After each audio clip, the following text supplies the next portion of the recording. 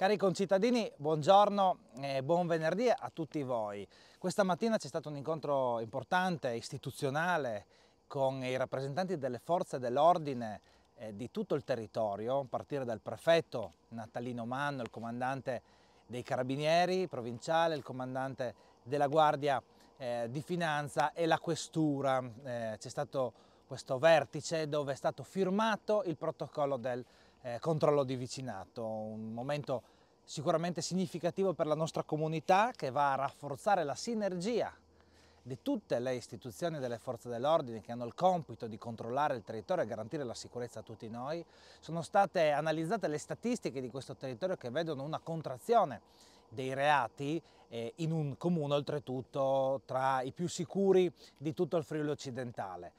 Questo ovviamente non deve farci abbassare la guardia, infatti l'impegno è sempre massimo perché come è stato detto anche in Consiglio Comunale o nelle commissioni consigliari, anche un singolo furto eh, è un problema, eh, rappresenta un'insicurezza, può rappresentare un'insicurezza percepita per i nostri cittadini, per tutti voi, che non può essere ovviamente tollerata. Quindi l'impegno da parte delle istituzioni e delle forze dell'ordine è massimo e vengono poi realizzati progetti come il controllo di vicinato eh, molto interessanti che vanno a rafforzare il presidio. Il controllo di vicinato permetterà a tutti voi, a chi vorrà, a dei volontari di far parte eh, di, dei gruppi che naturalmente seguiranno un percorso di formazione e potranno essere segnalatori di situazioni di anomalia e quindi chiedere poi il tempestivo intervento delle forze dell'ordine. Un sistema che non naturalmente si sostituisce ai attuali sistemi di controllo, e, di vigilanza, ma lo aiuta, una vera e propria lente di ingrandimento della comunità che in modo maggiormente organizzato rispetto agli anni precedenti potrà permettere un'architettura di servizio per garantire queste segnalazioni e quindi il tempestivo poi intervento delle forze dell'ordine. Già altri comuni hanno aderito a questo protocollo, l'abbiamo fatto anche noi come comune di segretariamento e dopo, dopo agosto organizzeremo degli incontri pubblici e daremo uh, massima visibilità a questo progetto per permettere a tutti voi di poter partecipare, poter far parte di un gruppo che semplicemente non fa ronde, non va in giro a eh, controllare o a sostituirsi alle forze dell'ordine, ma semplicemente ha dei sistemi e delle procedure di segnalazione per le nostre forze dell'ordine, appunto per aiutarle. Oltre a questo abbiamo annunciato eh, l'arrivo di due nuovi vigili, quindi un rafforzamento fino a 10 unità nostre, della nostra polizia locale, arriveremo fino a, alla fine dell'anno, verso la fine dell'anno supereremo le 100 eh, unità di videosorveglianza con una crescita notevolissima negli ultimi anni, ricordo che nel 2021 eravamo fermi a 70, eh, 70, punti di videosorveglianza e siamo arrivati a oltre 100 eh, anche sostituendo i vecchi sistemi, quindi una crescita sia quantitativa che qualitativa e poi abbiamo anche salutato eh, il nuovo vigile che ha preso servizio proprio ieri, Gaspare Curseri, al quale ovviamente da parte di tutti noi auguriamo buon lavoro all'interno di una grande squadra che è la squadra della nostra polizia locale eh, coordinata dalla nostra comandante Deborah Martone. In piazza potete trovare una novità, una novità che rappresenta un'innovazione per tutti noi, piccola ma sempre un segnale di crescita e, e di miglioramento del nostro arredo urbano, una panchina con un sistema fotovoltaico proprio all'ingresso di Parco Rota dalla parte della piazza, una panchina dove potete sedervi ma potete anche ricaricare il vostro tablet o il vostro smartphone proprio perché è un sistema di accumulo di energia che poi può essere utilizzato uh, con queste finalità. Un sistema che abbiamo voluto introdurre a San Vito, arriveranno anche altri, altri elementi legati all'arredo urbano che fanno parte di, del progetto complessivo dei distretti del commercio. Per quanto riguarda il primo capitolo del progetto, quindi l'arredamento urbano e il miglioramento dell'ambiente proprio a sostegno della vitalità dei paesi, ma in particolare a sostegno delle nostre attività commerciali, è arrivata la panchina smart, come vi ho detto, eh, appunto con la ricarica tecnologica, ma arriveranno anche a breve 8 panchine eleganti, 4 fioriere e 8 cestini per la raccolta differenziata con posa cenere, questo per quanto riguarda l'arredamento urbano del nostro centro storico. In più partirà verso fine mese partiranno i lavori di piazzetta pescheria la riqualificazione di via Marconi, come abbiamo già annunciato, e nei prossimi mesi eh, partirà, crediamo a settembre, eh, i lavori di raccordo della pista ciclabile di via Stazione, via Patriarcato, mentre i lavori legati alla riqualificazione di via Tomadino, alla realizzazione della pista ciclabile di via Tomadino sono già, come sapete, stati realizzati. Contributi per 14.000 euro per quanto riguarda l'arredamento urbano e molti altri per quanto riguarda l'infrastrutturazione, così da permettere di migliorare l'assetto viabilistico e in generale la bellezza e l'attrattività della nostra San Vito proprio in funzione del sostegno al eh, commercio locale. Oltre a questo verranno installate due stazioni per bici elettriche con la stazione ovviamente di sosta, i gonfiatori e, e, e le ricariche ovviamente per questo tipo di,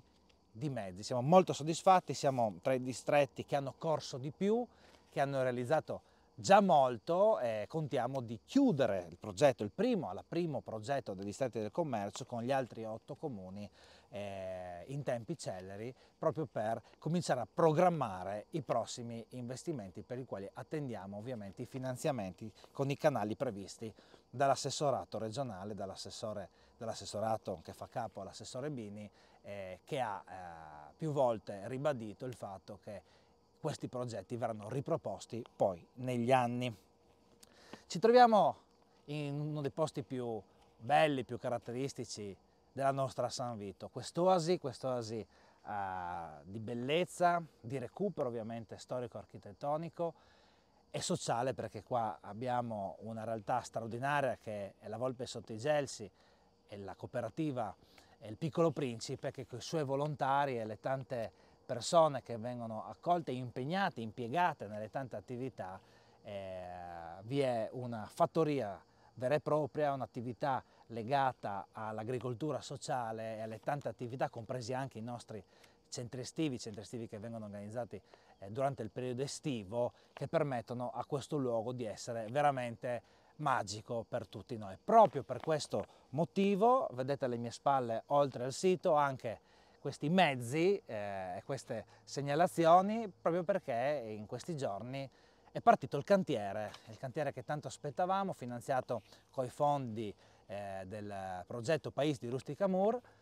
che prevederanno un investimento, un intervento per 160.000 euro di riqualificazione di questo luogo, in particolare le aree esterne, il parcheggio, eh, il cortile esterno, con, una, con nuove strutture eh, che permetteranno una maggiore funzionalità dell'area a beneficio dei tanti visitatori ovviamente, ma soprattutto di tutte eh, le ragazze e i ragazzi, tutte le persone impiegate all'interno di quest'area, tutti i volontari e tutti gli operatori del Piccolo Principe, eh, proprio per rendere questo luogo ancora più bello, ancora più funzionale, ancora più attrattivo eh, e ovviamente eh, più ancora forte per continuare a, a portare avanti queste iniziative sicuramente di valorizzazione del territorio, ma in particolare di inclusione, di inclusione sociale, di inserimento anche di persone ovviamente con fragilità o disabilità nel mondo del lavoro o comunque nelle attività generali di carattere sociale. Vogliamo ringraziare eh, in particolare i nostri uffici tecnici, l'architetto Molinaro e il suo staff per aver avviato questo progetto di riqualificazione, averlo fatto nel miglior modo possibile anche ai fini della contribuzione, come vi dicevo, e un ringraziamento particolare ovviamente a tutti i collaboratori e tutti gli operatori del Piccolo Principe che da molti anni eh, investono il loro tempo, eh, le loro competenze proprio eh, a beneficio di questo importantissimo servizio. Gli eventi di questo fine settimana.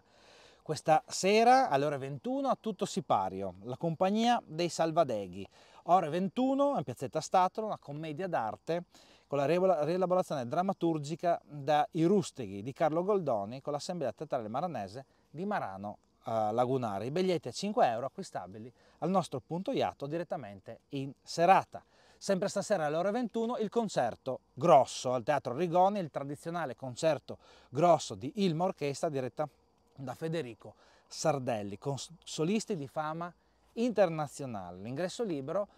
su prenotazione al sito ilmaonline.eu.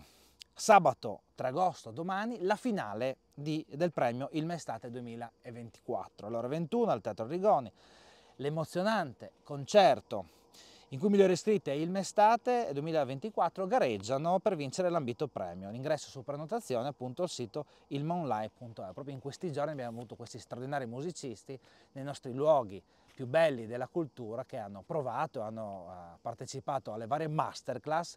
in un progetto, in un'edizione che appunto si concluderà eh, sabato, domani sabato 3 agosto al nostro teatro Arrigoni. Non mancate! Le mostre in questo fine settimana, Vincenzo della Bellarte, Genius, Loci, della chiesa di San Lorenzo, sabato e domenica dalle 10.30 alle 12.30 e dalle 15.30 alle 19. Paolo Iacchetti, numerazioni occulte, all'antico ospedale dei Battuti, sabato e domenica 10.30, 12.30, 15.30, 19. Ultimo weekend, quindi per chi non ha ancora visitato questa mostra, andate a visitarla, un forte consiglio. Eh, sincero perché merita veramente e poi la mostra che da poco è stata inaugurata di eh, Giampiero Deotto, Varanasi, la città sacra dell'India, castello, il nostro castello eh, di San Vito, sabato e domenica dalle 10.30 alle 12.30 e dalle 16 alle 19. Ricordo la settimana prossima, lunedì 5 agosto, il Lago dei Cigni, un balletto classico con la compagnia Almantaz, biglietti su ticketone.it oppure al nostro punto yacht alle ore 21 in Piazza del Popolo. Per chi non avesse ancora acquistato i biglietti, acquistateli per questo bellissimo evento che fa parte della programmazione di oltre 50 eventi di quest'estate di eh, San Vito a cielo aperto. E sempre all'interno di questa ampia programmazione un altro bellissimo evento eh, di grande cultura, di grande bellezza, l'operetta. L'operetta torna in piazza eh, con la vedova Allegra il martedì appunto 6 agosto alle ore 21 in Piazza del Popolo. I biglietti li trovate su Ticket One o, o presso il nostro punto IAT. Non mancate, è sempre all'interno della programmazione di San Vito a cielo aperto, mercoledì 7 agosto, una grande settimana a San Vito, per chi non è andato via eh, in vacanza, Filippo Graziani canta Papà Ivan per gli amici tour un altro, un altro bellissimo evento col figlio di Ivan Graziani che eh, canta le canzoni di suo papà con la stessa voce, identica, con la stessa sensibilità, la stessa straordinaria capacità artistica. Allora 21 in Piazza del Popolo, sempre biglietti su ticketone.it oppure al nostro punto IAT. E giovedì 8 agosto, per portare avanti eh, questa straordinaria settimana sanvitese, le notti del vino, musica e degustazioni con cantine locali, dalle 19 alle 23 in Piazza del Popolo. La nostra piazza si riempirà di eh, spazi e luoghi dedicati alle degustazioni, alla conoscenza dei vini del nostro territorio proprio per celebrare eh, San Vito e Tagliamento, città del vino. Grazie e buon fine settimana a tutti.